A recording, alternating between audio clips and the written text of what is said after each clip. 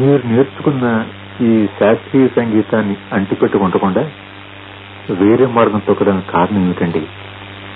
ఈ సంగీతంలో ఏ సంగీతం అయితే నేను నేర్చుకుని బతుకుదాం అనుకున్నానో దాంట్లో నాకు ఆర్థికంగా ప్రోత్సాహం లేకపోవడంతో డ్రామాల్లో దిగాల్సి వచ్చింది. డ్రామాలు వేసుకుంటున్నా అందులో కూడా రకరకాల బాధలు వచ్చింది. వచ్చినప్పుడు నేను పెదపులేరు వెళ్ళాను ఒకటి. చిన్నప్పుడు నాకు సత్కారం చేశారు. ఒకనొకప్పుడు సముద్రాల రాఘవాచార్య గారు. నేను డాన్స్ చేస్తుండే రోజుల్లో. ఆయన సినిమాలో ఉండటం వల్ల ఇది సూరయ్య గారు అబ్బాయి వచ్చాక బాగా పాడుతున్నట్ట విజయనగరం కాలేజీలో చదువుకు వచ్చాక మొదట సరదాగా రమ్మని చెప్పి మన ఇంటికి అని చెప్పి ఆయన కబుర్ చేస్తే నేను వెళ్ళాను. ఒక వన్ అవర్ నేను అక్కడ ఆయనకి నా గానాన్ని వినిపించాను. వినిపించిన తర్వాత ఆయన నాయన నీ అదృష్టం ఎట్లా ఉంటుందో?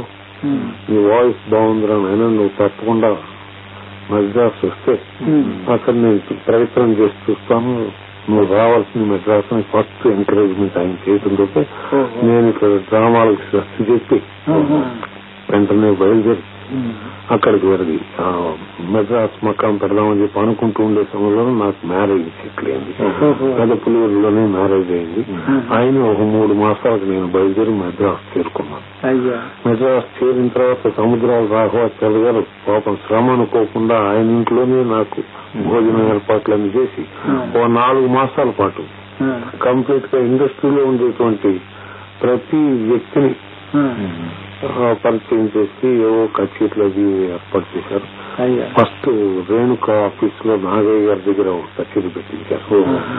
ఆ తర్వాత ఆ రోజు చాలా మంది పెద్దలందరూ వచ్చారు. చాలా సంతోషం చాలా బాగుందని చెప్పి చెప్పి సంతోషించారు అంతే ఆ తర్వాత వాహిని పిక్చర్స్లో పెట్టించారు అక్కడి నుంచి తప్పకుండా ఏదైనా అవకాశం ఇవ్వాలని చెప్పి వారు కూడా అనుకున్నారు. ఆ తర్వాత ఉండేందుకు అవకాశం కలిగించాలి కదా అని చెప్పి ఆయన ఘంటసాల బలరామయ్య గారికి ఇంట్రొడ్యూస్ ఓహో. ఘంటసాల బలరామయ్య గారు ఆఫీస్లో ఉండాల్సింది మీకు కావాల్సిన సాయం ప్రస్తుతం ఫస్ట్ పరిచయం చేశారు. అప్పుడు రజనీకాంత్ రావు గారు అక్కడ ఉంటుండేవారు.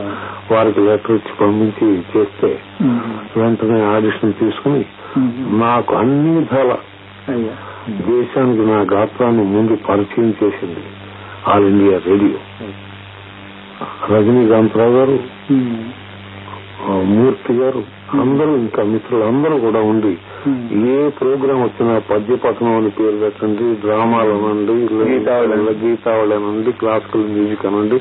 ఆల్మోస్ట్ నాటికలు కూడా నాటికలు కూడా ఉంటాయి. నాటికలు కూడా ఉండేవి అన్నింటిలో కూడా నన్ను కంటిన్యూస్గా నెలకు ఒక ఎనిమిది ప్రోగ్రాంలు పిలిచి నాకు భక్తికి లోపం లేకుండా. పేరు ప్రతిష్టలతో పాటు భక్తికి కూడా లోపం లేకుండా చేసింది ఫస్ట్ ఆల్ ఇండియా రేడియో